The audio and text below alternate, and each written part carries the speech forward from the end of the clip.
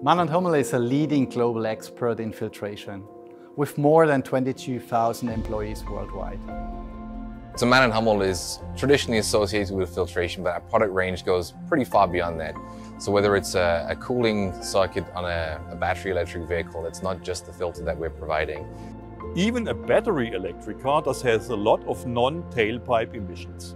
These filters are cleaning the air while driving or for a battery electric car even while charging. For fuel cells, we also need air, just like in internal combustion engines, to run the operation. We build filter elements which help to get the harmful off the useful. In everything Mann & Hummel does, we always strive to make the world cleaner and therefore better.